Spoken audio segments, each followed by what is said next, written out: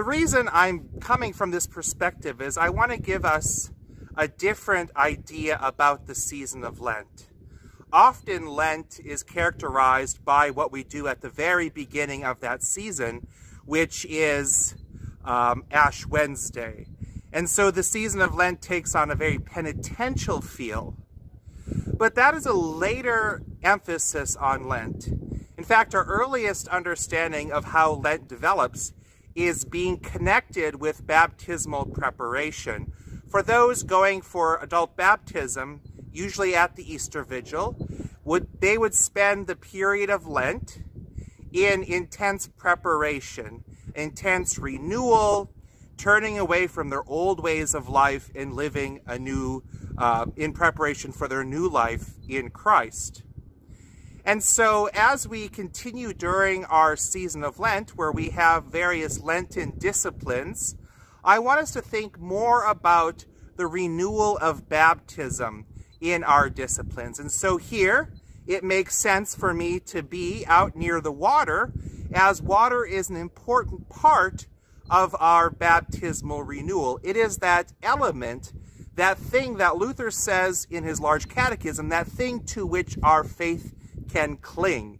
It is that external, the thinginess of God's grace. So during the season of Lent, I've been biking three times a week, Monday, Wednesday, and Friday, um, which coincidentally are also the days on which early Christians prayed, as we know in a text called the Didache from the first to second century. And I bike along the San Francisco Bay Trail, not just because it's flat and that works well on my knees, um, or because there's a nice breeze that comes off the bay, which keeps me cool, but because I'm close to the water. I can reflect on my baptism and I can reflect on the goodness of creation, the creation that God said is good at the very beginning of Genesis, and my work and my own stewardship of that creation. One of the texts that gives us a sense of early Christian prayer is the Didache, which is an uh, first or even early second century church order, possibly written around the time of the Gospel of Matthew for an earlier dating, or the Gospel of John for a later dating. In this text, probably from the Syrian early Syrian Christian tradition, details how that particular community um, functions together as a Christian community it's really in three parts. The first part is about what does it mean to live as a Christian. So that's the ethical exhortations. The second part deals with the ritual practices of the community, including prayer, baptism, and celebrating the Eucharist. And in the third part are more of the logistics of what it means to be a Christian community, including how to welcome those who wander in and how to organize leadership. But for us, the important text really is in chapter 8, where it details prayer. It specifically mentions that Christians fast on Wednesdays and Fridays. And we can assume that such fasting included more prayer practices as well. In chapter 8, it also gives us one of the earliest, if not the earliest, text of the Lord's Prayer outside the gospel tradition.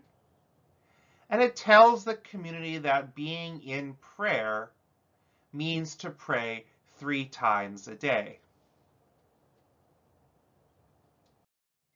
The text from the Didache then um, about prayer in chapter 8 is sandwiched right between baptism in chapter 7 and Eucharist in chapters 9 and 10. But specifically, let's look at the origins of Lent and how this may connect to our understanding of prayer, especially as it relates to baptism. So our earliest origins of Lent, um, from what we can tell, Lent was a period distinct from Holy Week. Holy Week had its own character and its own proximity to Easter, and various days of Holy Week took on special significance as we see it in our current celebrations. This period of Lent, or what would be considered Lent now, is really tied up with the catechumenate. And the catechumenate is a process for preparing uh, early Christians um, in the early church. And so this was a, a period of maybe three weeks to 40 days. Uh, one text, the apostolic tradition, says three years, although it's unclear if that text was someone's hope or if it was how a community actually lived. And so Lent was this intense preparation for baptism, the baptism of adults, which would happen at the Easter Vigil. And in this period of intense preparation, we have the disciplines of prayer, fasting, instruction, including instruction on the ideas of what would eventually be considered the creed, as well as various exorcisms, not the um, spinning your head, shooting out pea soup type of exorcisms, but more of really a call to amend one's life and to live a Christian life. Is a spiritual discipline of prayer that is important. So prayer is tied with the preparation and the formation of baptism. Later in the catechumenate, we'll see specifically on the third, fourth, and fifth weeks of Lent, uh, specific emphases would happen, including the handing over of the creed, which would be the Apostles' Creed, the renunciation of evil, and the commitment of prayer, where the handing over of the Lord's Prayer. Because as these early, um, not yet Christians, uh, are preparing to become Christians, they are given the tools of the Christian life, including the Creed and the Lord's Prayer. There were also other layers of purpose for the season of Lent, which all coalesce after the Council of Nicaea. The first layer I just described is the final preparation for baptismal candidates. The second the preparation of those undergoing um, public penance, and that would be reconciled back into the community after a minor exorcism at what would become Ash Wednesday later on, would be reconciled back to the community. And then a pre-Paschal fasting, or really looking specifically toward Good Friday and Easter. When adult baptisms start to decline, especially at the 5th and 6th century, with the, um, the spread of the doctrine of original sin, which also meant the spread of infant baptism, the penitential and the fasting layers of Lent really become the primary or sole layers of baptism, and we still see that today. We see our Lenten season marked with the beginning of Ash Wednesday, which really gives a tone for the whole season. And the idea of it being a pre-Paschal fast is that most people see Lent almost as a 40-day Good Friday, where it's always solely looking to the cross, pointing ahead, rather than seeing Lent as its own um, liturgical season. So how might we, during this Lenten season, engage in those practices of prayer? Well, like I said, in the Didache, we have the call for daily prayer happening three times a day. And as we would see in later traditions, that would be morning, noon, and night. Many of us are uh, familiar with morning and evening prayer, especially evening prayer during Lent, uh, Vespers, uh, using uh, Holden Evening Prayer or our Unfailing Light or other um, popular versions of Vespers. And so we're familiar with that daily prayer practice. But that it doesn't need to be as complicated. Really, we see early on with the daily practices of prayer two approaches. The first would be could be considered the monastic approach. And the reason for this was because it was uh, primarily associated with monastic communities. And the goal is to go through the entire Psalter, all 150 Psalms each week, And as you can see from my square on the, Lent, the ULS Lenten sampler, that was my goal for this Lenten period.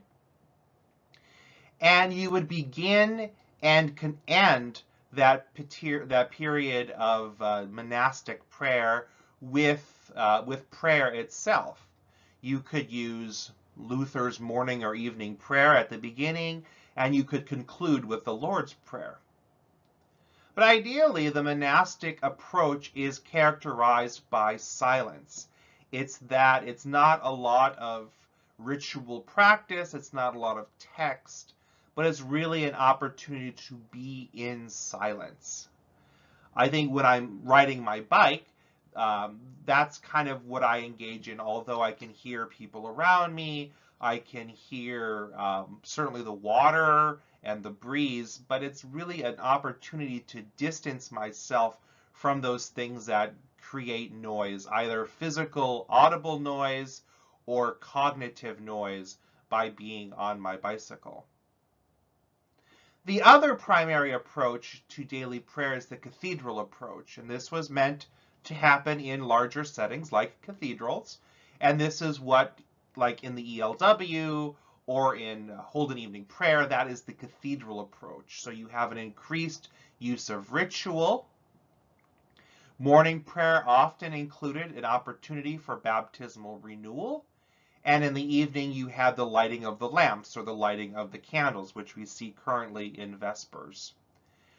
But we can really see between these two a hybrid approach where we could bring some of those rituals like baptismal renewal even into our more modest monastic approach of morning prayer and bring the lighting of candles into our evening practices of prayer. So as I mentioned in ELW, you can use Luther's morning and evening prayer texts. Those are um, can be found in the morning and evening prayer rites or in the small catechism at the back, where it is in the singular, um, I, rather than the plural we, if you are by yourself. Another way to do that, to kind of find a hybrid approach between the monastic simplicity and the cathedral ritual, would be to engage in the responsive prayer texts from the ELW. And in there you see the use of the Lord's Prayer, the Apostles' Creed, various verses of Psalms, and then a prayer specific to the time of day, morning, noon, afternoon, evening, and for daily work and travel.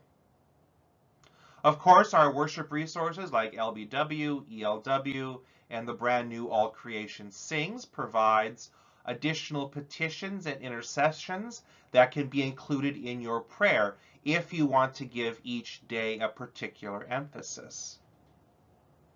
And then for those of you who have that charism, you can write or speak your own prayer instead of what is in the book. And there's really two approaches. There is what's often the Acts approach, adoration, confession, thanksgiving, and supplication. Or there's the five-part format of a prayer, the collect form, which is what we see in our prayers of the day, beginning with an address to God, then an attribute of God, then the actual petition, why you're asking for the petition, and then the conclusion. So those of you who may be Monty Python fans and recall from the, the movie The Meaning of Life when they're in the uh, um, chapel of the boys' school, that prayer, O Lord, you are so big, follows that form. O Lord, you are so big. Forgive us our dreadful toting. The fourth one kind of, so that we may live as you would design through Jesus Christ our Lord. So that's my ad adaptation of that prayer. So that's that five-part format. And then, of course, there's to bring in that ritual practice of baptismal renewal. And I would suggest that the easiest way to do that would be to adapt the ELW affirmation of baptism or the LBW affirmation of baptism. And use it for individual or household use. And so if you're by yourself, you kind of, rather than asking yourself the questions, you can say the question in the affirmative. If you're in your household, one person could ask the questions and the members of the household would answer. Along with that ritual, um, those ritual texts, you can bring in ritual objects, like a container of water. Not because you are rebaptizing, but so that you have that visual and even that feeling aspect of water connecting to the thinginess of baptism, that to which our faith can cling, as Luther says in the Large Catechism. And then you can light a candle.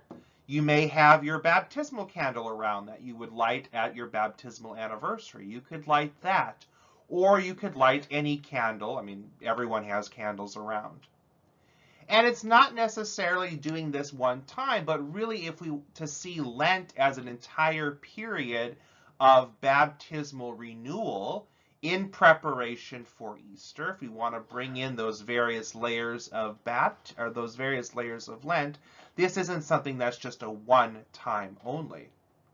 To connect this with worship that happens online or worship that happens um, in a parking lot uh, or those who are able to start going back to in-person worship, you can find ways of making the connection to the larger worshiping community by having people engage in these practices together. It may be that you schedule a particular Sunday in Lent where you have this baptismal renewal in which people online and offline can join together.